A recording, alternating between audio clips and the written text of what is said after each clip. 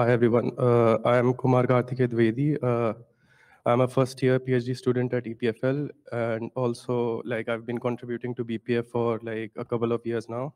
So today I'm going to talk about uh, uh exceptions in BPF. Uh, some of this is already upstream, and some of this is uh, something that I'll send out soon. So let's dive right in. So uh, this is the agenda. First, we begin with a very high-level introduction, and then an example, uh, some use cases that exceptions are meant to serve for now. And then we talk about the high-level design and some of the future directions uh, this work could take. So what are exceptions? So they allow you to abort the execution of a program and return control back to the kernel. So if you know uh, Rust or C++, they are very similar to the panic or std terminate APIs that allow you to uh, immediately abort a program. Uh, you have a kfunc called bpf throw, which allows you to generate an exception, throw it from a program, and it takes a cookie parameter, which by default becomes the return value.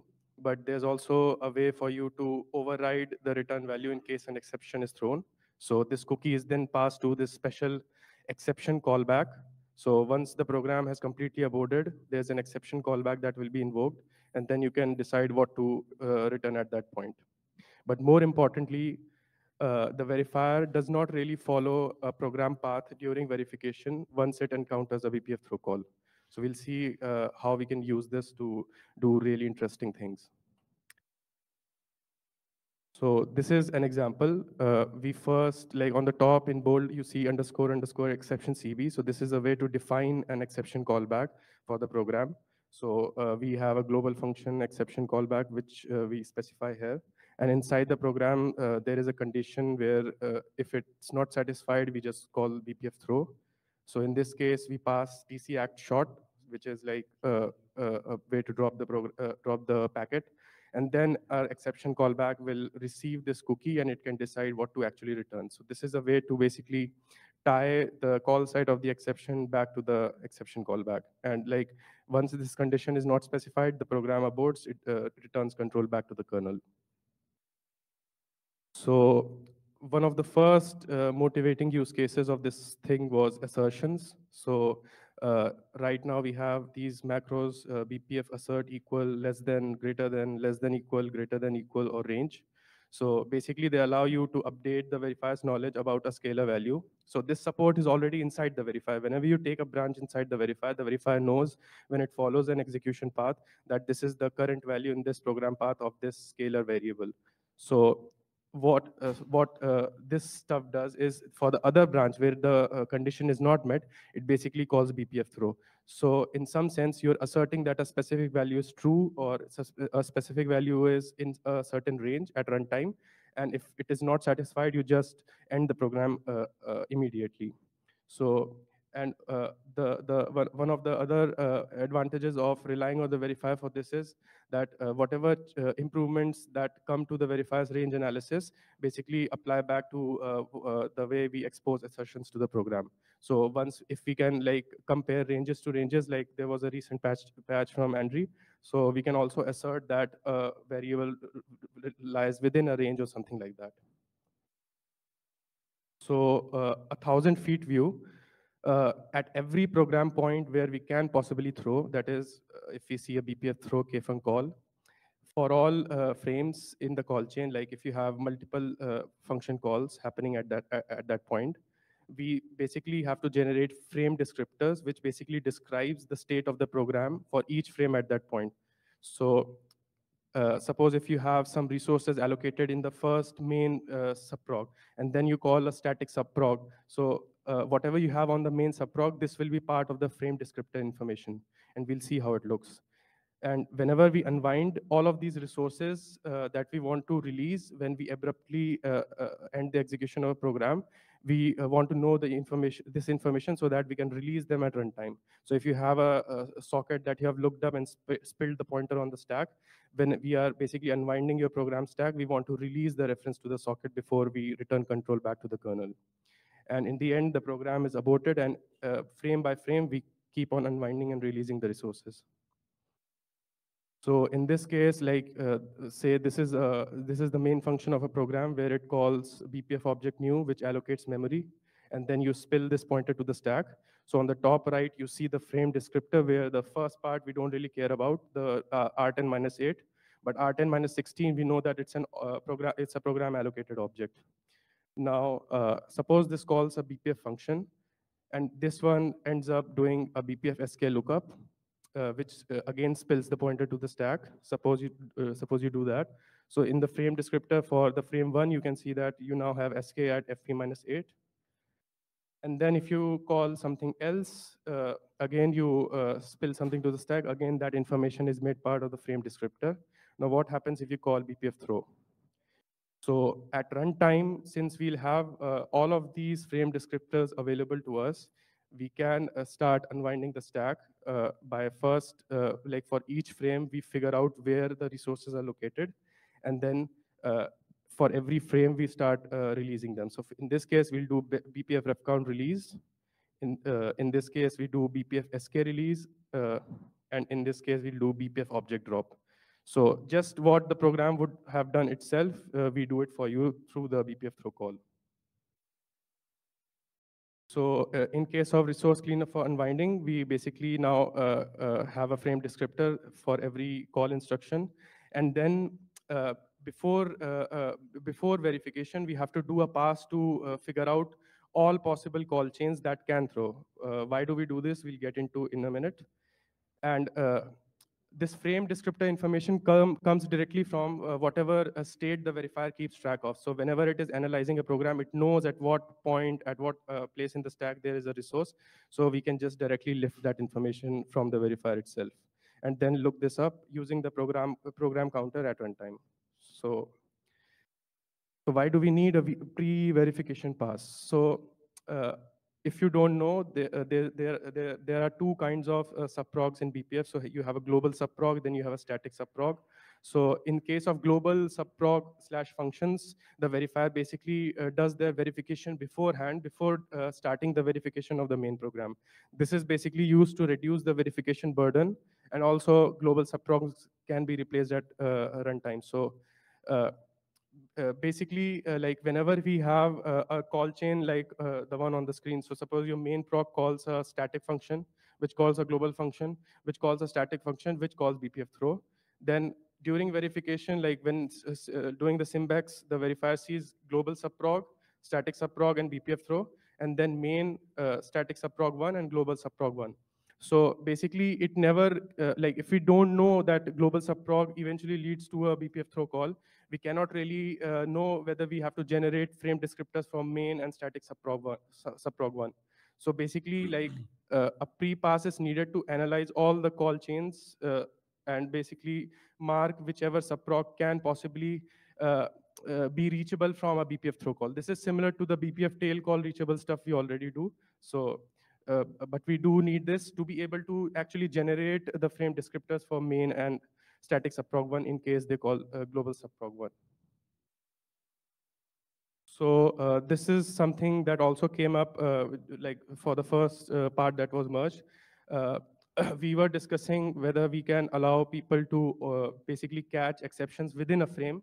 So right now we have this catch-all callback when the complete unwinding of the program is done, we have this uh, callback that you can e execute to basically do something, uh, change the return value or do some action. But uh, sometimes you really uh, want to catch an ex exception being propagated uh, in the middle of your program, right? So uh, how do we, how can we support this? So right now, like there's no, not a lot of users of this stuff. I've just been trying to integrate into sched_ext, but uh, once we have more and more people, how can we go about doing something uh, uh, using this? How can we go about doing something like this? So one of the uh, uh, uh one of the options is that we lift compiler support and basically have some way of describing that whenever you throw an exception, this is the landing pad that you want to execute, and the compiler basically puts some metadata along with alongside the program, and this can be passed to the verifier when loading. And when it uh, throws, uh, when it calls BPF throw, it starts basically simulating, uh, like unwinding the program, jumping to the landing pad and seeing whether we have to continue or stop. So this would be one option, like uh, lifting the compiler support. Or the other option is like we imbue the verifier with constructor and destructor semantics, where we tell that for a specific object on the stack, this is the cleanup action that you have to do. It knows it beforehand. But there are different trade-offs with both because like if you have a catch block, you also have access to all the objects in the local scope of the frame. So uh, sometimes uh, that is much more uh, uh like useful than uh, like having a function that does the cleanup because it lacks context. So uh, what next? Are assertions the only thing that uh, these uh, this primitive is good for? Uh, I would argue no, because uh, uh, I've recently understood that this is like a much more fundamental primitive that can allow you to rethink how we do safety property enforcement right now in the verifier we have a lot of complexity for a lot of things uh, that we uh, implemented recently. And uh, something like uh, BPF exceptions would allow us to get rid of a lot of that complexity, as we'll see. Uh, this can be both fast and correct in terms of having no overhead at runtime and uh, still ensuring the basic safety properties that the verifier guarantees to the user. That is, the kernel will not crash, the kernel will not stall. Uh,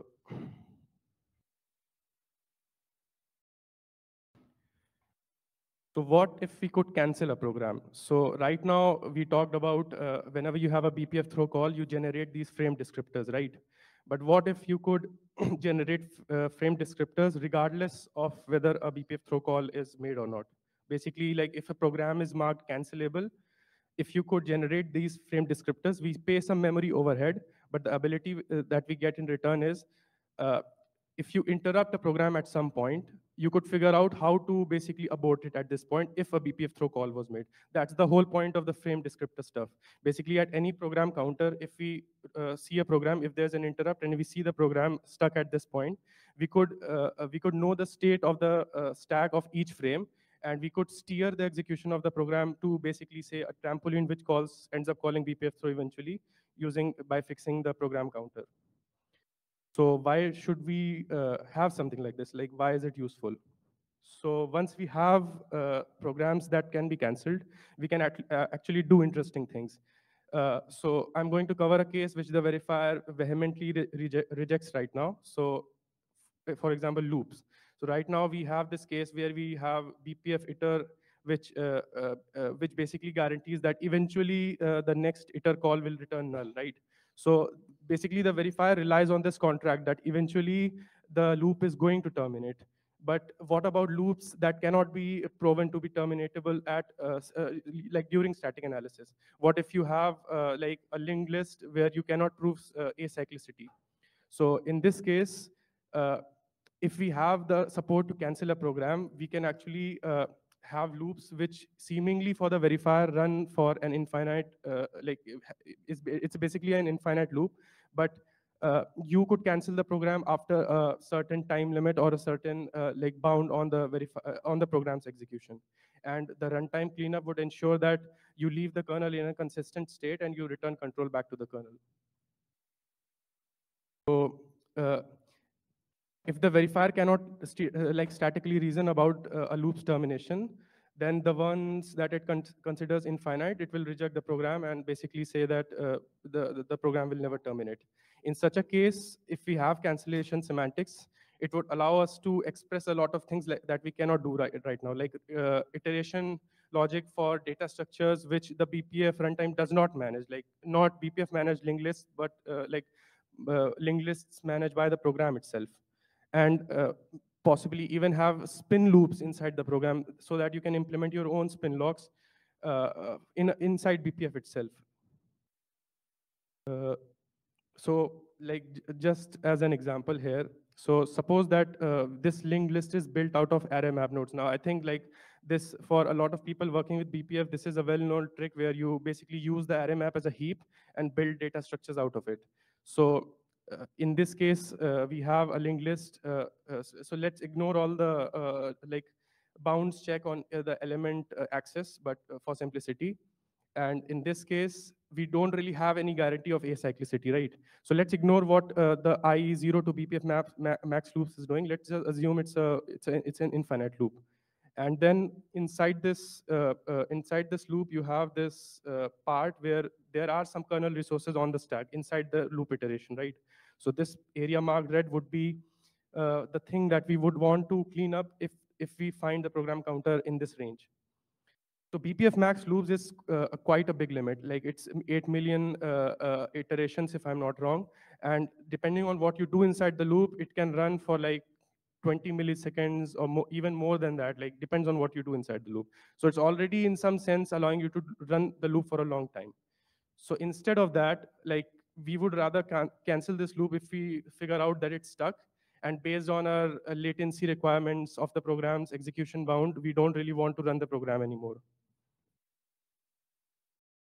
So recently we have added these three primitives, right? Uh, BPF object new, which basically hands over kernel memory to the program, and uh, BPF link, uh, linked lists, which uh, basically allow you to allocate nodes, add them to a linked list, which is managed uh, through kernel helpers, sim similar for rbtrees. Uh, the reason that the verifier gets entangled with the implementation of linked lists and rbtrees, we had to teach the verifier about ownership, about synchronization and everything, is because this memory is managed by the kernel. It's memory coming from kmalloc. And this in turn forces the verifier to reason about how this memory will be released. In turn, it forces the verifier to reason about how this memory is being used. If it's, if it's stored in a linked list or an rbtree, we need to enforce that uh, the invariants of the linked list and rbtree are maintained and eventually like we are able to recover the memory stored in these linked lists and rbtrees and hand them back uh, back to the kernel. Then we need to teach the verifier about shared ownership and unique ownership if a node is accessible from multiple uh, cpus and this also is a bit restrictive and reasoning about the semantics is not really easy. Instead we could remove all of these or, or uh, like all of these complex semantics from the verifier uh, by basically building on much lower level primitives. If you had a way to write express loops that the verifier cannot reason about, and it can still terminate them, you could build synchronization primitives. You don't really need BPF spin lock. You could probably build a spin lock that probably has NUMA awareness right into your BPF program. You could build your own data structures and iteration logic because like once you have a loop that you can use to iterate over a data structure, you can basically uh, implement uh, find uh, uh operations, search operations for a data structure. And all of the memory uh, uh, that we manage in this way should ideally not come from the kernel allocator, but some program specific heap. So some kind of an array map, but the problem is that the array map locks up memory. So we would want something more dynamic that allows you to request memory and release memory on demand. So based on this stuff, what have I tried so far? So I have tried spin locks with multiple levels. So right now in the verifier, we have this spin locks where you can only take one at a time. So in this case, we can have something like uh, lock spin lock A, lock spin lock B. And uh, the, the, the, way it uh, prevents a deadlock is uh, once you have a deadlock, you have a bound on the loop that you're uh, using to spin for the spin lock, right? So once there is a deadlock, all, all, all of the waiters are waiting for the lock to be released but nobody is making progress. So eventually, the owner or wh whoever is not making progress will be aborted, will be cancelled, and that in turn ends up canceling all of the other waiters that are waiting for the lock. So you have this built-in deadlock avoidance uh, in, in some fashion. And then data structures, basically using uh, uh, this stuff uh, and using a share, uh, like shared heap of the program uh, like an array map or something like that, you can build out all kinds of data structures using these primitives. So you can have hash maps where you iterate them, iterate over them, do locking, linked lists, rbtree skip lists, and even the QP-trie that was uh, sent to the list uh, some time ago. And uh, exceptions through the cancellation semantics would underpin the safety argument for all of these. Like they would allow enforcing the safety, the termination pro property without really compromising the safety of the kernel and the program and you would uh, use maps as the uh, as your memory allocator and basically unburden unburden the verifier from reasoning about all of the concurrencies, uh, synchronization, lifetimes, and memory management uh, semantics that we currently do. And basically only enforce uh, uh, memory safety, kernel like termination guarantees, and like just get rid of everything else in that sense. And this would also allow you to compose higher level verification frameworks with the current verifier. In some sense, you could write a program that's in uh, the BPF front end of uh, the Rust front end of BPF, and it could uh, restrict you in doing things in a certain fashion. But the underlying verifier doesn't really care about all that. It just cares about that you eventually like get, get, rid of like ho hogging on the CPU and not violate the memory safety constraints. So with that, I'll take questions.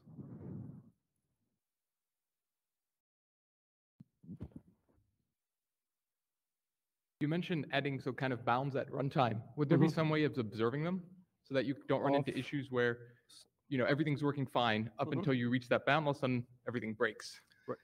So, uh, so, so right now this is like uh, just uh, the experiments that I've been doing personally. Uh, so uh, what I do is uh, basically teach the verifier that this is a user space pointer that is a, a pointer coming from a map, right? And this is the type. So the verifier knows that whenever you access this, it emits a bounds check for you, right?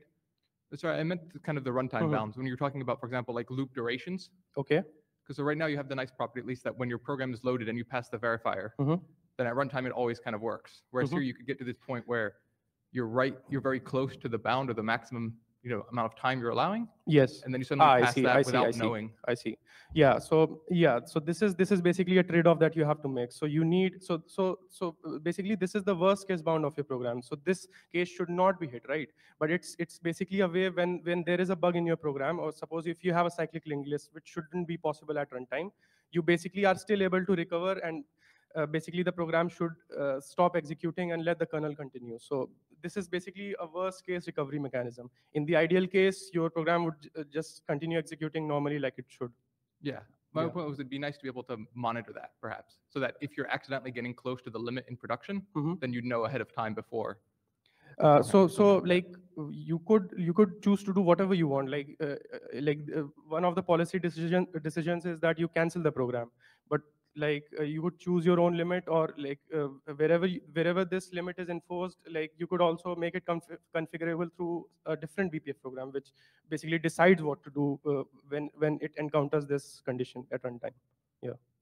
Okay thanks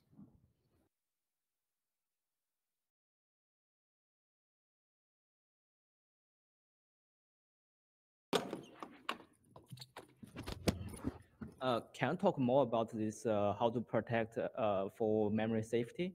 Because I think what's your plan and what you have done? Because I think it's important for many tracing programs that so they can directly access the kernel memory, but there's mm -hmm. no guarantee on the memory. It could be, you could follow a pointer, but the mm -hmm. objects may already be freed. That's more dangerous. Yeah. yeah. So, so do you mean like the pointers? What, what's your plan and what you have done in that direction? So, so, so uh, uh, with respect to the pointers that you manage using your own heap, uh, you're talking about that, or you're talking about I'm the point? About, for, for example, you're accessing some kernel kernel memory, uh, mm -hmm. kernel variable. You follow the pointers. Let's say. So, so that is already there, right? The pointer to BTFID with the probe and semantics. Basically, like it, uh, it does exception handling for you at runtime if you follow a bad pointer, and if it if there's a page fault, the kernel like already has this support where it basically marks the destination as zero. So if you have like because like it can allow you to read stuff, but it cannot cannot allow you to write stuff from tracing programs. So you already have this support where you can follow pointer chains and then basically uh, uh, like you can even follow invalid pointers. All it does is it will have an exception like exception at page fault at runtime. It will fix up the access for you. What if the memory is already being like say freed or just not yeah so so basically it's uh, in the page fault handler like once it hits the page fault handler so, it just so you say kernel already handles that natively so yes right it happens right now like for tracing programs yeah.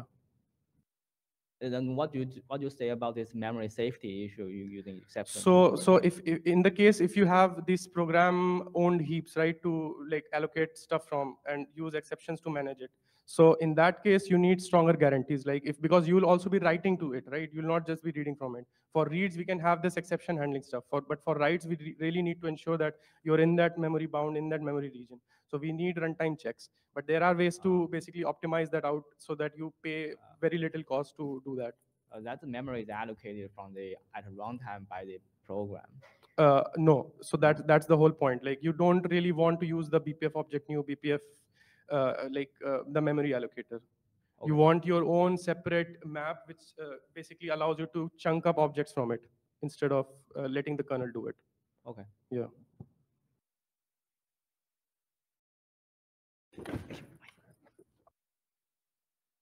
Um, hi, so um, mm, thank, thanks for the talk. Uh, it's really interesting. Um, so I see that now we have the ability to sort of do a stack unwinding resource cleanup, Mhm. and you know, on upon an exception. Mhm. So and I wonder, is, is it hard to sort of extend this also to like normal normal execution paths? So basically, doing resource auto cleanup. Inside the kernel? Um, well, not really. Yeah, I guess inside the kernel. Um, so so that the programmer don't need to manually unlock. In that case, whatever. we'll have to write the kernel in BPF, I guess. But yeah, but it's it's hard to do inside the kernel because in this case we uh, like rely on the verifier static analysis to understand what resources to uh, leave. Maybe the verifier could work for a certain portion of kernel code which does something similar, but yeah, like right now I, it's it's it's hard. It's very hard to do. I see. Yeah, thanks. Uh, two quick questions. Like for the frame descriptors, don't you always need them when you also have calls because you don't know whether BPF throw is being called? Yes, if you if you call BPF throw, then you need to have them ready at runtime. Basically, you need to pay some cost in terms of memory uh, so that you can, whenever a throw does happen, in the worst case, you know how to unwind the program. You need them available. But it's like it only it, they are only generated for the cases where you actually call throw. So for only those program counters. And a lot of the times, like the state of the program does not really change much. Like you can have the program executing, but the objects allocated on the stack remain the same or there's like duplicate spills uh, of the same acquired object. So in some sense, there are ways to optimize that out and basically uh, like reduce the uh, memory overhead further. Okay, and for the for the cancellation, I mean, one thing that was uh, mentioned earlier regarding monitoring, right? I mean, like I, like the one worry is that you you you might leave the program at like an undefined state, right? Yes. Like if you change something in the maps and suddenly you cancel everything, right? It's Mhm. probably really hard to debug in production. Yeah, so so this is about. this is where like uh, being able to support uh, like having callbacks per frame would be really useful, so that you can do some kind of recovery code uh, before the program really ends up unwinding completely. And in that case, we wouldn't really allow these kinds of loops because you don't want recursion, right? You don't want that loop to end up throwing again, and then uh, you go to the landing pad, then you do a loop throw again, like it's an endless loop basically. So it's like a more restricted uh, landing pad where you can do some recovery of the program and then you keep unwinding. Yeah, so you would need to combine it with something like that.